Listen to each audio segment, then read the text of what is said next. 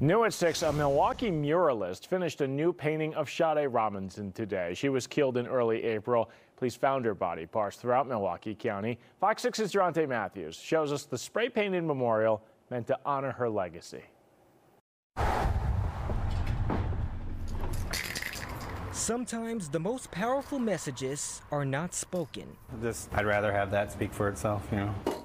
When it comes to making an impact, Milwaukee muralist Ruben Alcantar is making a career of spraying it rather than saying it.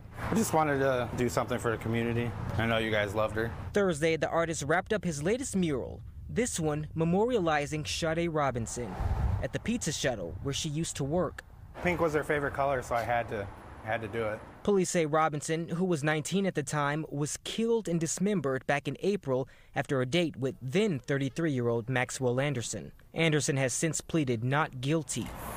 Her story caught Alcantar's attention. I knew people who knew her. He says he felt compelled to do something, so he reached out to the Pizza Shuttle back in May to paint the mural. Since 2020, he's done more than a dozen murals promoting activism, but with Robinson, he says he's learned so much about the person he's painting.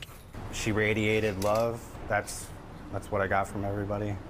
So just love. So they say um, a picture is worth a thousand words. Mm -hmm. What words come to your mind when you see this? Gone too soon. Gone too soon. In Milwaukee, Durante Matthews, Fox 6 News. Well, the artist says it took him about four days to finish Sade's mural there. Her accused killer, Maxwell Anderson, is scheduled to go to trial in December.